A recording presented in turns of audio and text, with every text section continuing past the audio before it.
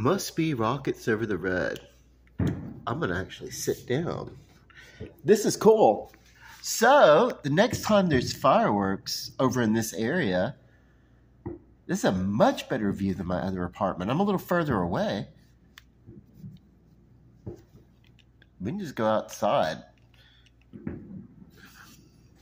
Well, we can just come here, actually, in the living room. Inside, actually, have a better.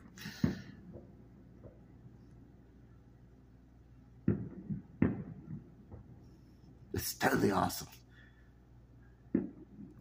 Oh, this is CJ. Ha.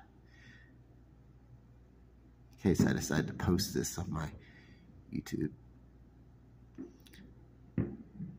So this is, I think it's the rockets over the red they do on Veterans Day. I don't know. I just like heard some stuff blowing up. I was like, what's that? I didn't know.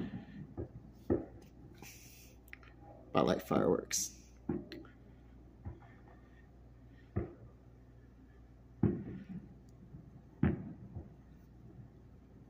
As cool as it looks here on this phone, it looks like awesome. Uh,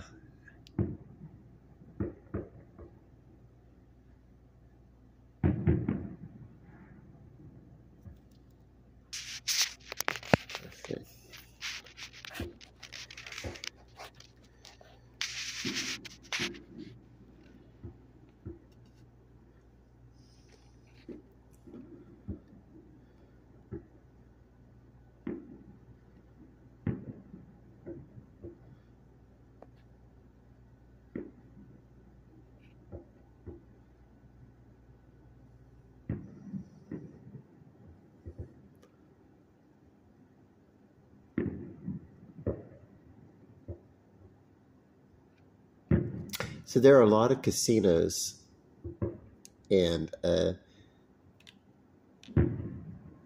well, not a lot, a lot for us. There are five casinos right over there, uh, and they do something. I think it's Horseshoe uh, every once in a while. They do something called Rockets Over the Red.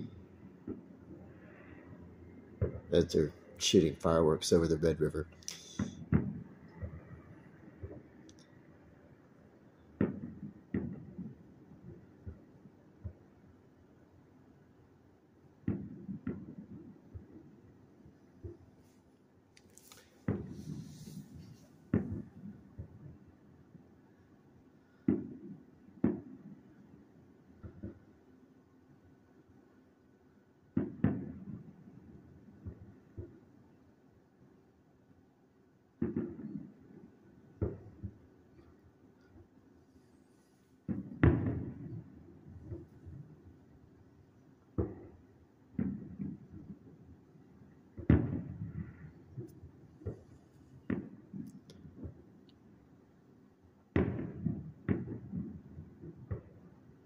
This is kind of cool.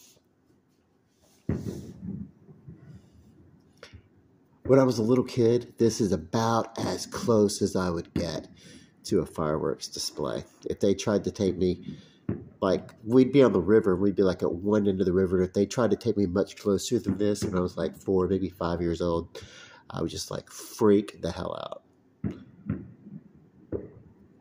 And I remember being about five and uh, it was the Fourth of July, and everybody had their little fireworks, and I was like totally afraid of uh, explosion, little little fire explosions, exploding sounds. In particular, not so much loud sounds, but any kind of exploding sounds freaked me out when I was a kid, and I don't know why.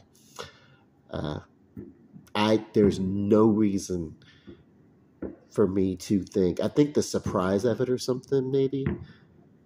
But there's, yeah, there's some things are just instinctual. There's no reason for me to have just assumed without prior knowledge that a firework would be dangerous. Of course, later on, of course, we see people getting their fingers blown off and stuff. But back then, I, I didn't know. But anyway, it was probably the loneliest time. One of the first lonely things I remember. Uh, and uh, I was a kindergarten uh, student, and it was the 4th of July, and everybody was right outside my window having fun, uh, blowing up fireworks. And it wasn't my window. They were that that, but anyway, yeah. I, I was looking out the window, and I wouldn't let them raise the window because I didn't want to hear the sound. But they were outside, and they were having fun, and I was not having fun. And I remember feeling very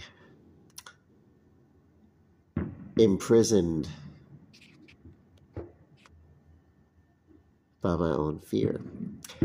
But fireworks now they remind me about that. It was almost like a precursor and a lesson in life that fear should never uh, be your jailer. You know, never never let fear be the reason that you uh, you know cannot live. You know. Uh,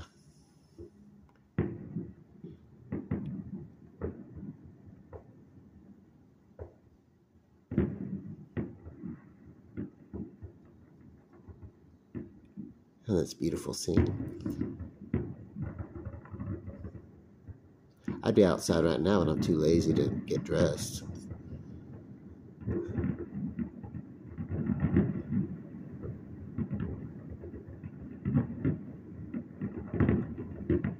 So this is cool. So now I could do is have, have people come over and watch a fire uh, Fourth of July show, and it's actually this is a better view than what I had when I lived in the Fairmont. It was a little bit closer, but my window was really small. You actually had to, like, it wasn't a small window. Actually, it was. It wasn't these big bay windows that take up half a wall. Like, I could, like, literally sit back across the room.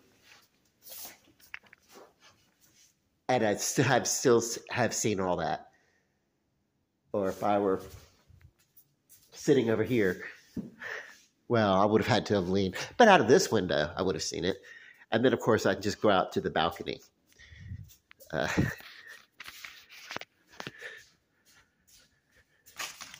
right outside. You know, how cool. All right, so I'll probably post this on my YouTube